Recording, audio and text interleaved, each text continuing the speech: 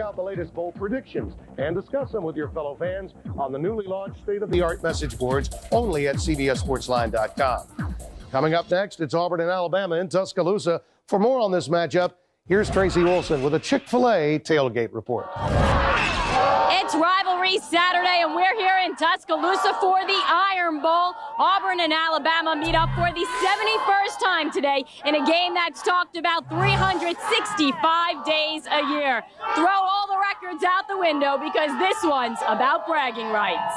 This is the most important game of the year, the Iron Bowl. And uh, you're looked and judged by this game. You know that when you first get here, you know this game is going to be important, uh, and you get reminded of it every, probably every single day. So far, we've been fortunate enough to win four in a row, and uh, you know we'd like to make it five coming up. So uh, you know we're going we're going to get Alabama's best shot, and they're going to get our best shot. Yeah, we've been playing for so long, and, and the tradition for both schools, and and the in-state uh, rivalry. It's just it's just huge, you know the state really splits in half, and it's fun to be a part of it. This one means the most to those born and bred here in Alabama combined. These two teams have 95 players from this state. Only one could win. Who will it be? The Iron Bowl coming up next.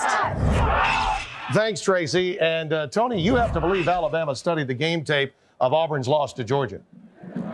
Oh, there's no question about it. And let me tell you what Auburn is going to do today. Because they struggle so much and because Brandon Cox is struggling with that knee, look for Auburn to really simplify things, to line up and try to run it right at them. That's the key to this game. Well, guys, I can't remember. Alabama's in a difficult spot right now. I cannot recall the last time they were ranked ninth in rushing. 24 sacks are given up. That's a little bit too heavy for a team that's run dominant. They've got issues today. All right, now it's time to shine our Saturday spotlight on some of today's top matchups. A big one in the Pac 10 is Cal and USC fight for the conference title, and at worst, a trip to the Rose Bowl, Tony.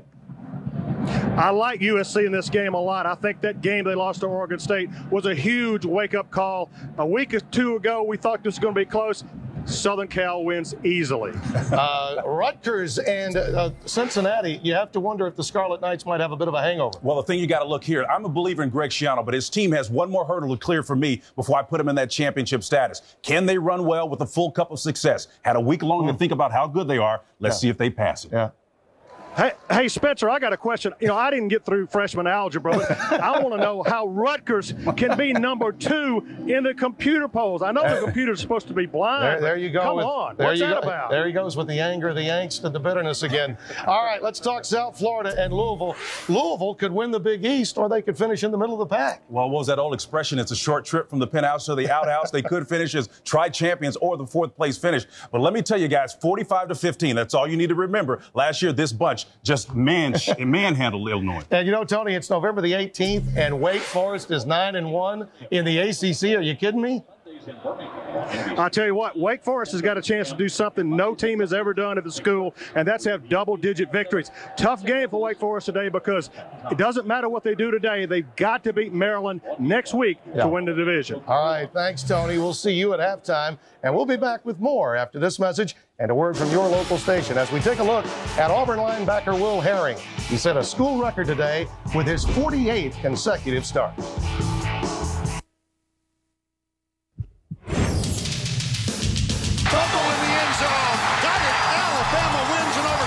In the corner.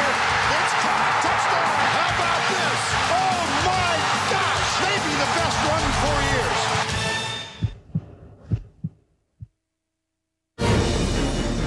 Vulcan, the mythical god of iron and steel, and a symbol for the state of Alabama, whose core and identity were built on this metal more than a century ago.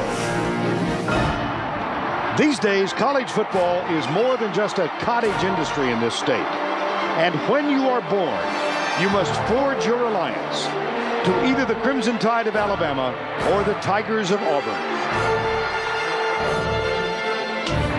Give the ball. Alexander cuts it the middle. Up and over. Touchdown. He's in. Touchdown. It is blocked. Williams up the middle.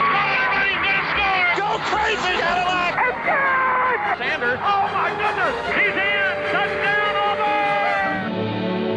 Auburn versus Alabama. This is the Iron Bowl.